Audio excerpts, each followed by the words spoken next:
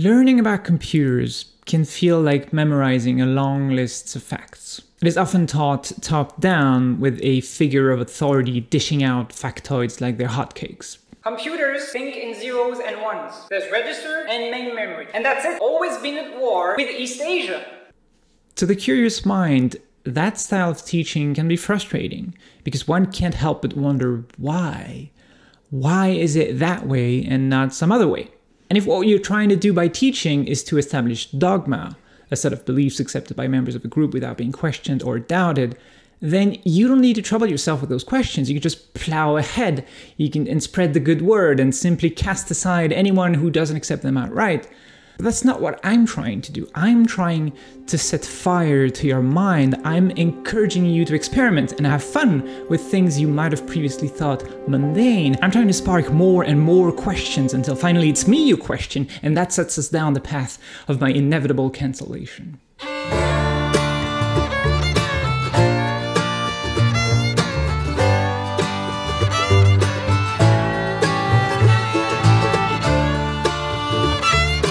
Because the truth of the matter is, these facts being handed down in most courses are not so much facts as they are opinions. Very little about them is dictated by intrinsic limitations of the physical world we live in. Some are. I mean, for a while now, we've been trying to make computers smaller, not just so they're portable, but also because we must consider how long it takes for an electrical signal to travel from one point to another. And the limit we're currently hitting is, I believe, the sheer amount of heat dissipated on every clock cycle. There's also transmission delays and a bunch of other constraints, which explains why the record for highest CPU clock rate, 8.72 GHz with liquid nitrogen cooling, hasn't been beaten since 2014. But other facts are not. They're conventions we've agreed on as a society because they were convenient. Sometimes for no particularly good reason, most of the world agrees that this should be called ananas. Say for the British, who looked at it and went, I don't know, mate, uh, it feels more like a pineapple to me.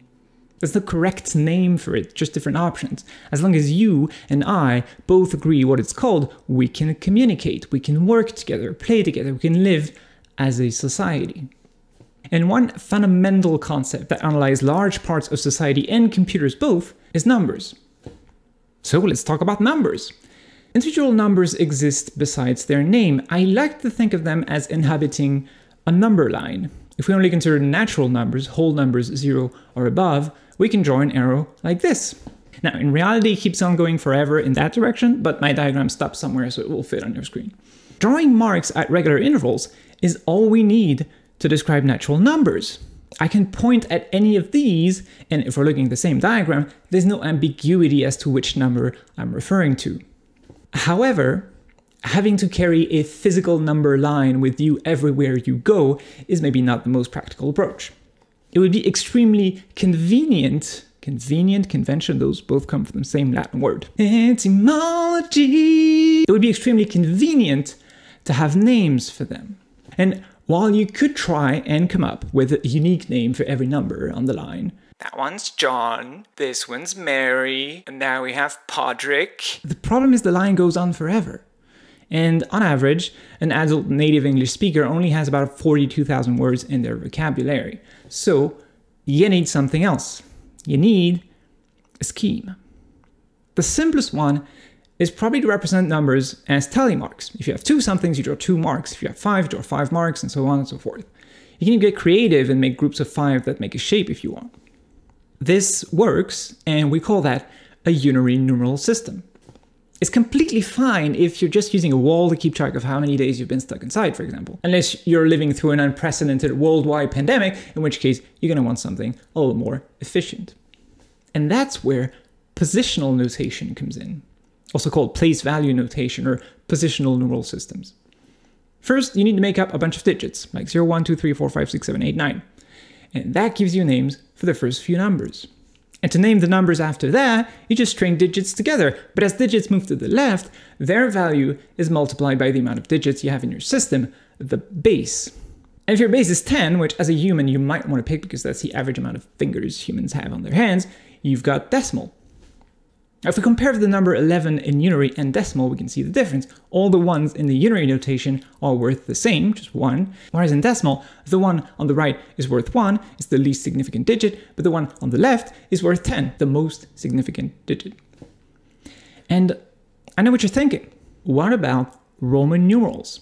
Well, they are, one, different for no good reason, two, arguably worse, and three, designed by people who clearly didn't know any better just like Plan 9 assembly. Now, but for real, Roman numerals are simply definitive proof that you can have god awful opinions and still be widely successful.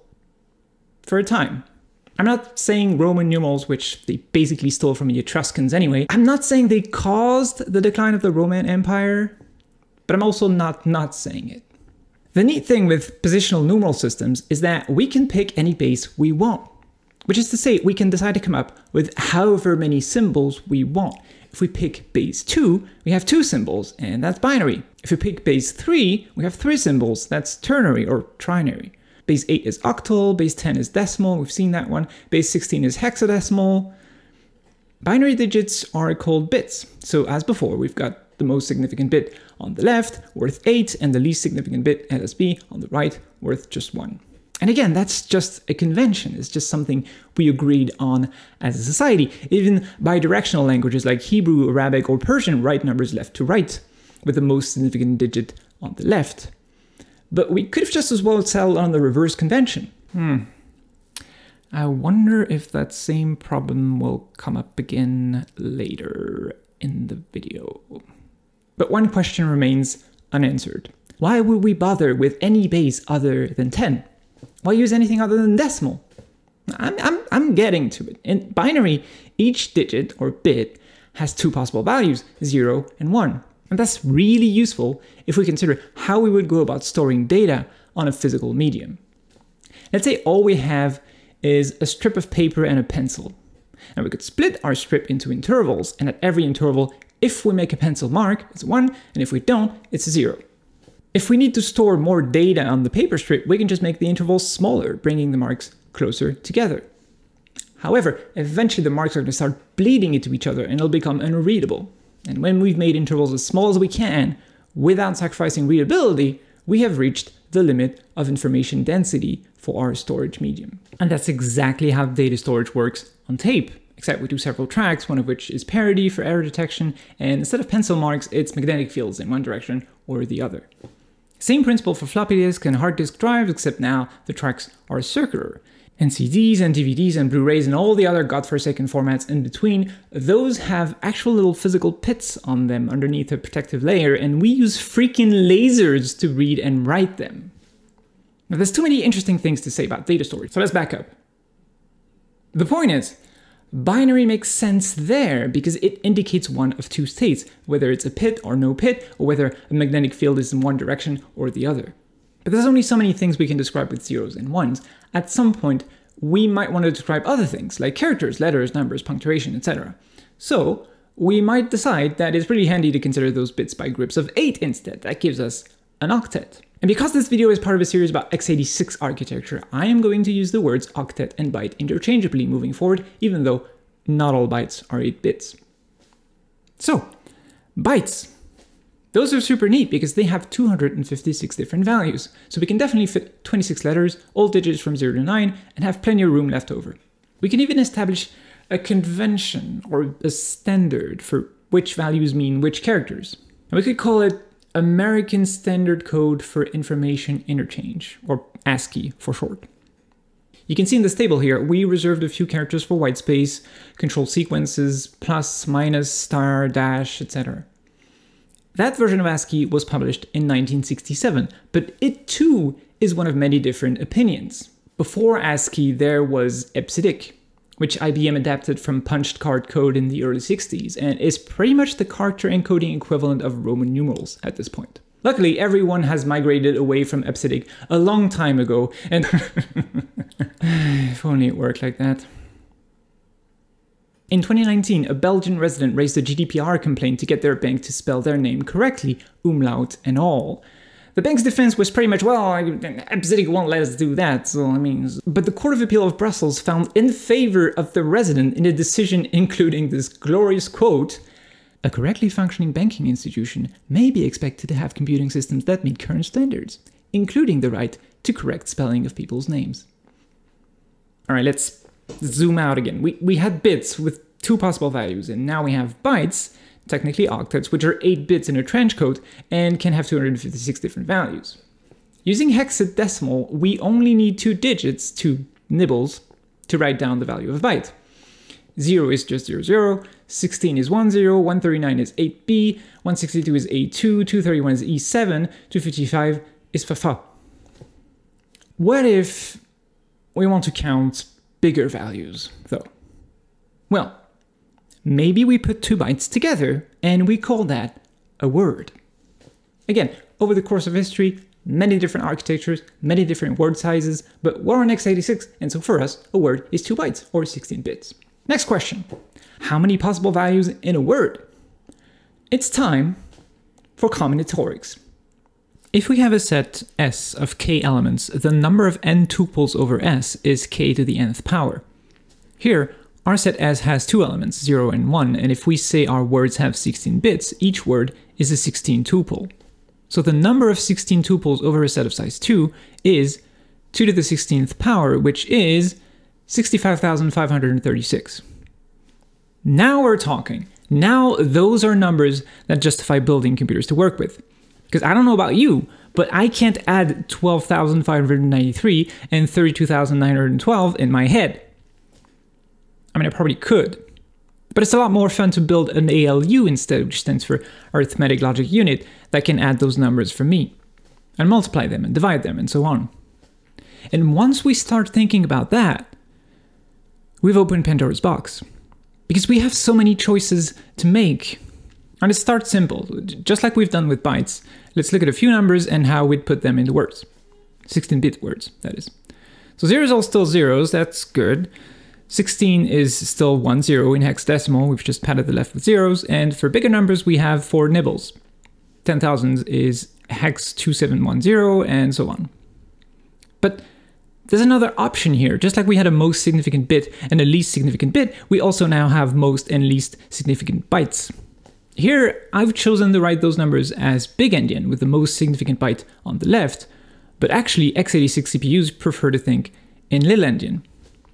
But why little endian? Why would you put the least significant byte first in memory? It feels backwards to anyone who hasn't already accepted that as a fact of life. To understand why little endian, we must turn back time some 50 years. In 1969, Computer Terminal Corporation tasked Intel with designing a chip for one of their CRT terminals. CTC later became Datapoint and then bankrupt. They didn't even end up using the chip, which eventually got released as the Intel 8008. But because of Datapoint's original requirements, they unknowingly dictated one of the biggest decisions in computing history. All because other components inside their terminals employed a bit serial design. They expected numbers to come in on a single line, bit by bit. One of the ways we humans add numbers on paper is by doing long addition. Say we want to add 35 and 97, we just write them on their own line, right aligned, and then we'd go column by column, starting from the right. So 5 plus 7 equals 12. We put down the 2 in the answer line and carry the 1. Then we add 1, 3, and 9. That's 13. So put down the 3, carry the 1. And finally, we have just 1, so we put it down. Just like that, we got our answer. 35 plus 97 is 132. Now we just did long addition in decimal in base 10, but it works just as well in other bases. In fact, we can do that same addition in base 2. Each column is now a bit, 0 or 1, instead of a decimal digit, 0 to 9. As you can see, we get the exact same answer. But there's one interesting constraint with long addition. You must go right to left. You must start with the least significant bit. You cannot do it the other way around. And if you're trying to make a machine that can add numbers, it's a perfectly fine choice to have it work on bits one at a time, adding them as they come in and keeping track of the carry bit as long as they come in least significant bit first. And that would be a bit serial processor, the kind Datapoint was putting in their terminal. Now, I know what you're thinking. How does that have anything to do with the Intel 8008, which is an 8-bit processor? First thing I want to say is calling something an 8-bit processor is kind of misleading. And it's not the whole story. It is true that the 8008's main registers were 8 bit wide. But even with this tiny early chip, you could have more memory than 256 bytes. So memory addresses could not be 8 bit, otherwise, you would have run out of address space. Is that is that nonsense? The, the address space is just how many names you have for places. Every byte is a place and it needs a unique name. So if you only have 256 names, you can only ever address 256 bytes. Now, the 8008 was actually supposed to have a 16 bit address space, two bytes for every address. But because the designers were forced to make it fit in an 18 pin package, already more than the 16 pin packages Intel was so fond of, they had to scale that down to 14 bit. So, how much memory can we address with that? Well, you already know how to do that. How many 14 tuples are there over a set of size 2? 16,384, or 16 kilobytes of memory. Not kilobytes, that would be 16,000. Kilos are powers of 10, and kbs are powers of 2. So, with the 8008, you need 2 bytes to refer to a place in memory. And that kind of sparked a discussion between Intel and Datapoint. Intel was like, this chip we're making for you, it might just get some use beyond CRT terminals. Now, we, we want to make it byte parallel, which would mean sending all 8 bits at the same time on 8 different pins. But Datapoint was like, but everything is bit serial. It, it expects data bit after bit on a single pin, starting from the least significant bit. And so Intel was like, fine, God, all right, we're, we're keeping it byte parallel, but you can have the least significant byte first. That way you can send the low 8 bits serially and then the high 8 bits, and it all works out. And you know what? It did kind of work out. Because at the time, a bunch of memory modules were 256 by 8, like this one here. It can store 256 8 bit values, hence the name. Now, how would one go about using one of these? Well, first you would need to select which byte you want to read by sending an 8 bit value in parallel to pins 80 through 87, 80 for address. And then the output comes out of. Wait, we got pin for power, pin for ground, read, write, and. Oh, we don't have enough pins. So I guess we have to share the same pins between the address lines and the data lines. Okay, so we write our address to 80 through 87, and then we tell the chip to latch onto that address using the ALE pin for address latch enable. And then we stop sending the address and ask to read the memory with the RD pin for read, and the data comes out of pins 80 through 87. Problem solved. Until we need to store more than 256 bytes. Then we need multiple chips and a way to select which chip we're talking to. Now we could we could kind of multiplex these chips, like have some kind of controller between them and the processor that would route the reads and writes to specific chips depending on the address. But that sounds really expensive and like something we'll worry about inventing later. Another option would be to have all the chips be wired together, except for the chip select pins marked as CS123 on the diagram. And that's where the little endian thing works beautifully. Because you get the address in two parts. First, the low 8 bits, and you inject that straight into the address lines of all your RAM chips. And you make them latch onto that address with the ALE pin, so now every chip remembers what byte it is you want. And then later you get the high 8 bits, and you use those to inhibit control lines for every RAM chip except the one you want. And finally, you ask for a read using the RD line, which again is shared across all chips, and only the chip that was selected will respond on the shared address slash data lines. Isn't that kind of cool how it all worked out? Well, kinda. Except the 8008 was the first of many processors in that family tree. The Ryzen 9 I have in this computer is also using little endian byte ordering because of Datapoint. Now, we didn't jump from one to the other, there were plenty of intermediates. The 8086 had 16 bit registers, but a 20 bit address bus. It could add larger numbers and address a full megabyte of memory. Then we had the 286, which had a 24 bit address bus able to, in theory, address 16 megabytes of memory. Then the 386, which had 32 bit registers, double words, and a 32 bit address bus able to, again, in theory, address 4 gigabytes of RAM. The 386 was a huge success. It was produced by Intel until 2007. That was yesterday, 15 years ago.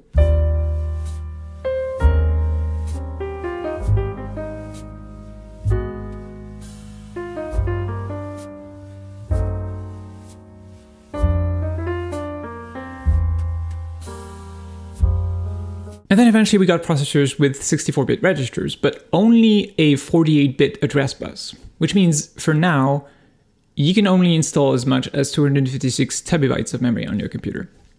In practice, though, good luck finding a consumer motherboard that lets you install more than 256 gigabytes of RAM. And that is the story of computers. Well, numbers in the context of computers, natural numbers, some computers. But I mean, we're missing huge chunks of the picture here. So we can represent large numbers, big, what, what can we do with them? Well, we can make a program that has a list of instructions that tells the processor what to do with those numbers. And that program lives in RAM just like the numbers. Now, we already know how to lay out the numbers in memory, whether they're 1, 2, 4, or 8 bytes. We just put them down in little endian order, thanks Datapoint. But how do we encode instructions? What do we write to memory to tell the computer to do things? I don't know. Not off the top of my head, because there's a lot of different instructions and the encoding is not trivial. Partly because there's a lot of history and backwards compatibility involved, as we've seen with the 8008, and partly because the encoding tries to be space efficient. The instructions should take as few bytes as possible. It's like a challenge. If possible, off to use instructions should be shorter than the others. And if some instructions need numbers, we should try to reserve only as many bytes as we need. We don't want to spend 8 bytes on a value that would fit in just 2. And that all sounds okay, but we've had a lot of theory today. I feel like we could use a little example as a treat. Just to make sure that what I'm telling you here is rooted in reality. Now, as I said, I don't know how to write machine code by heart, but I do know how to write assembly. A little. Just enough to be dangerous. And then I know how to ask an assembler to assemble that assembly into machine code, and then we can just look at that. What's cool when you write assembly is that you get to decide pretty much exactly how it's going to go down. So here, I want the computer to do the same addition we did earlier in decimal binary. So we'll just make a data section with two global symbols with distinctive names like Alex and June so we can find them later. And now we need to say what's inside of them. So for Alex, we'll declare a quad word, D for declare, Q for quad with value 35. And same for June, DQ with value 97. Then we'll have a text section which will contain actual code. We'll have a global fun symbol to make this a little less scary, and in there we'll put some instructions. So I want to add Alex and June, but right now they're just in RAM somewhere. Well, not yet, but when the program runs, they'll be in RAM. I'll show you. So first we need to move them from RAM to some registers, which we can do with move. The brackets mean to copy what's at that address, not copy the address itself. So after that, we'll have 35 in the RAX registers and 97 in the RCX register. You'll notice the destination actually comes first here, and the reason here, again, is someone picked one of the two options. Now don't worry though, there's another very popular syntax for assembly where it's the other way around. As usual with computers, if there's two options, you can be pretty sure there'll be folks on either side of the problem claiming that their option is so much better. Then we'll add rax with RCX, and again, the destination is on the left, so really you can think of it as rax equals rax plus RCX. And then we return, which, um, right, I haven't explained function calls yet, or the stack. Well, functions are just symbols, that's just an address in memory where there's instructions. Calling a function is like getting distracted. Let's say you're watching this video and suddenly you get thirsty. So you now have a new task, getting a glass of water. It's like you're pushing that new task on a stack of things you have to do. So you get up, go get a glass, come back, and then you pop that task off your stack and resume the video. And that's pretty much how function calls work. When a function is called, we're telling the processor, hey, jump over to that location to execute some other instructions. But we also want to be able to return to whatever it is we were doing before calling that function. So we push a return address on the stack, and that ret instruction right there, it just pops the return address off the stack and jumps back to it. Okay, now we can assemble that with YASM, and that gives us an object file. And to find out the encoding for those instructions, we can disassemble it again with objdump. Now I use a bunch of flags here, so dash D for disassemble, dash W for wide format, dash T for symbol table, dash M intel for disassembler options. And now we can see all our instructions, two moves, one add, and a ret. Returning from a function is a very common operation, so you can see it only takes up one byte. Adding two registers is 3 bytes. As for the moves, they take up an entire 8 bytes. There's something a little fishy about those moves though. The disassembly says move into rax quad word pointer at offset 0 into the data segment. Offset 0. Now, I, I don't pretend to know where Alex and June are in memory, but I'm fairly sure they should be at different locations because they're two distinct variables. So surely that cannot work. But I mean, who knows? Let's try it anyway. We'll make a small C program that'll just call fun. I really don't want to spend too much time talking about these. Suffice to say, yes, that is how you handle unsigned 64 bit integer values portably in C. In essence, all we're saying here is by the time this is an executable, there will be a fun symbol. We'll be able to call it. It will return an unsigned 64 bit integer. So please call it and print its return value. If we build that program with a C compiler like Clang, it'll complain about an undefined reference to fun. That's because we broke our promise. We said there would be a symbol named fun, but we never provided it. We've declared it in fun.c, but it's actually defined in fun.o, the output of YASM. If we call nm fun.o, we can see all that it defines. It has Alex and June marked as D for initialized data, and fun as T for text, which is code. So let's compile our fun.c program again, but this time we'll pass fun.o to Clang as well. And now it compiles. It even runs. And it gets the same answer we got when we did long addition by hand. But wait, when we looked at the disassembly, it was referring to offset zero from the data segment. So how does that even work? Let's disassemble the fun symbol again, but from the executable this time. Oh hey, it's not zero anymore. We see two distinct offsets here, 40, 40, 24 and 40, 42C. If we look for the Alex and June symbols in the executable, we can see the addresses match up. And if we run fun in a debugger and read from those memory locations, we find our values 35 and 97 again. So what happened? Why was the offset 0 in the object file, but it was non-zero in the executable? Well, that's because when we're assembling fun.asm into an object file, we don't know where it'll end up, our C code also gets compiled into an object file, and then we link both these objects together to make an executable. It's during that link phase that sections from different objects are merged. See, just as we specified fun.o as two sections, text and data. And if we dump the whole data section, we see our two values as little endian hexadecimal. As for the executable, it has a bunch more sections, but it also has text and data. Again, if we dump that data section, we can see our values are there, just offset by 4 bytes. The reason the move instructions in our object file have offset 0 is because we don't know where Alex and June will be in the final product, not until link time. If we add two global variables in our C file, it pushes Alex and June back. Before, everything in the data section came from fun.asm, and now there's stuff from both fun.c and from fun.asm. The addresses for Alex and June have changed. So the move instruction needs to be fixed up at link time. It's almost as if there's some information we're not seeing in the disassembly that tells the linker, see this offset? It's zero right now, but later it needs to be the address of wherever that symbol ended up. And there's exactly such a thing. It's called relocations.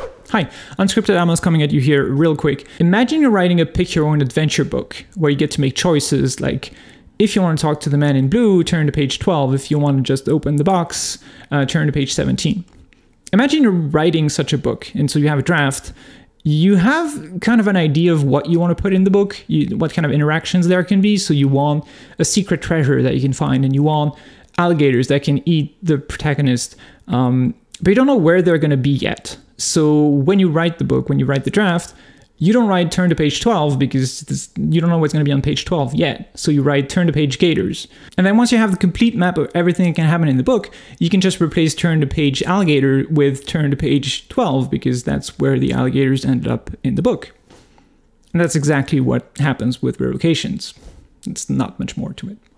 If we disassemble fun.o again, but add dash r for relocation, we can see what's going on. Those relocations are processed at link time, and everything is fixed up according to their final location in the executable. Unless it's a position independent executable, and then there's also relocations happening at startup processed by the runtime dynamic linker. Hi, unscripted Amos again. I don't have a good analogy of what position independent executables would mean for pick your own adventure books.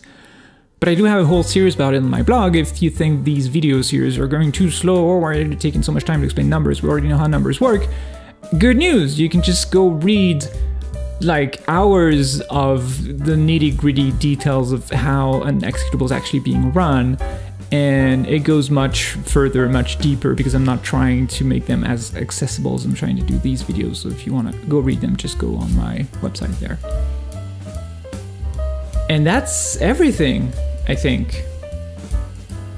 No, no, it's not. We didn't really look at how x86 instructions are encoded. We, we took the easy way out and just called an assembler and looked at the output.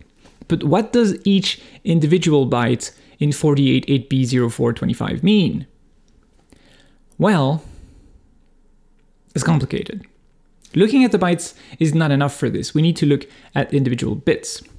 48 is a rex prefix. We need it because our operands are 64-bit wide.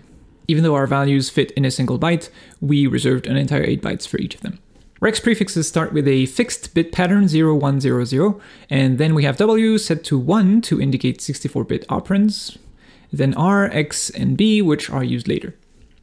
8B actually means move, well, one flavor of move, there's several, 04 is a mod RM byte. It contains a 2-bit mod value set to 00, a 3-bit reg value set to 000, and a 3-bit RM value set to 100. Finally, we have 25, an SIB byte. It contains a 2-bit scale value, a 3-bit index value, and a 3-bit base value. To know which register we're moving to, our destination, we take the R bit from rex and the three reg bits from mod RM, which make 0.000, and that means rex. Similarly, if we take mod x index b base all together and look at what they mean, they mean our second operand is a 32-bit address, and that's exactly what follows as little-endian 24 40 40 00. Simple, right? No, it's not. It's not simple. In fact, it's the most contrived up is down arcane doesn't fit in your brain encoding I know of. It's worse than EBCDIC. The good news is any other encoding we learn after that will seem so much simpler in comparison.